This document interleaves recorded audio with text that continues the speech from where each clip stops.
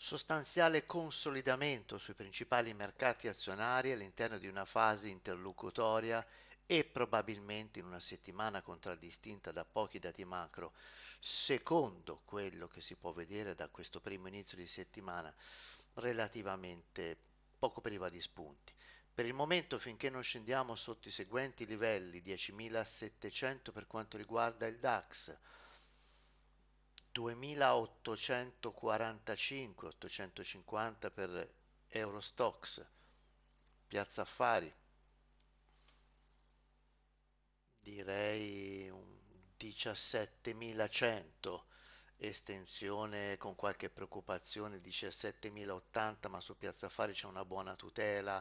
BCE per adesso continua a sorvegliare decentemente i prezzi dei nostri titoli di Stato e mantiene lo spread inalterato, quindi 17.000 può darsi che tenga. Per quanto riguarda l'America, 2000 qualche scricchiolio a 2009 ma ha tenuto il prezzo tondo, se no altrimenti un 2890 può essere un livello che può fare sì già 2910 sarebbe strano però 2900 2895 per SP però questi sono ancora forti anche se secondo me un po' di fiatone ce l'hanno. Nasdaq che è fortissimo e che sente in maniera bestiale proprio anche tutte le resistenze grafiche sta adesso un po' arretrando, c'è un po' d'arretramento ora che sta aprendo Wall Street, non tanto di sentiment, secondo me Nasdaq finché non lo vediamo abbondantemente di 100 punti sotto,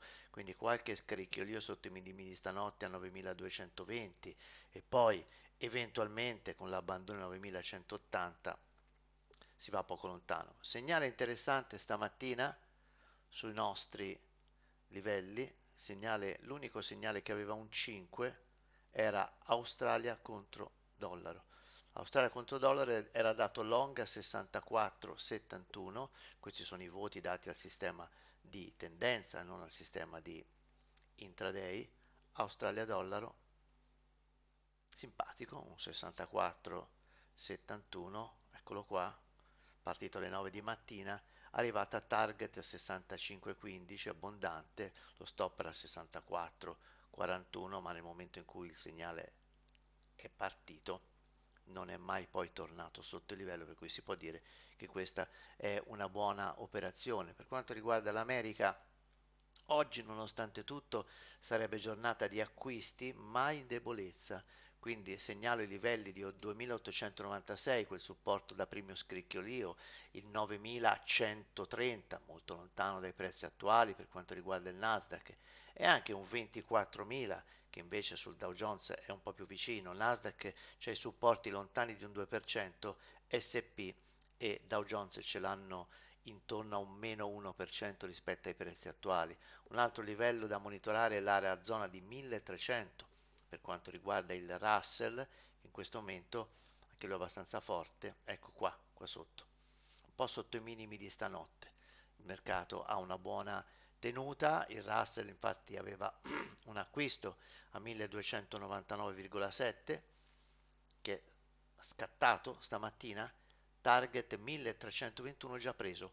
Attenzione, attenzione perché i segnali di acquisto sull'America sono già scattati 2896 faccio vedere qua. Ecco questo era il 13896 di SP 2928 SP ha fatto 2939 Nasdaq il 9128 non l'ha mai visto. Fa un altro, fa un altro lavoro. Dow Jones il 24000 l'ha visto? Eccolo qua 24255 già presi. Attenzione delle resistenze lambeccate poi ci sta che il mercato voglia ancora salire ma adesso Wall Street sta aprendo con una timidezza che in realtà è una debolezza e che si riflette soprattutto sull'indice europeo. Guardate proprio le posizioni diverse di impostazione sui massimi sembrano quasi più carini rispetto a quelli del DAX e quelli del DAO. La volatilità è comunque in forte calo, troppo forte secondo me, cioè calo veramente sensibile, evidente, molto direzionale, assolutamente da non comprare in questo momento contratti di volatilità, almeno così sembra. Gold zitto zitto, comunque si mantiene questo 1690, questo qua questo 1700 lo tiene. Altri cambi, c'è poi la Nuova Zelanda, qui addirittura c'è un salto di prezzo, non so perché. Poi per il resto c'è sempre comunque un euro fortino. Devo vedere se adesso ho un errore io sulla mia piattaforma, piuttosto che no, sono i vizi e i problemi anche di lavorare in diretta.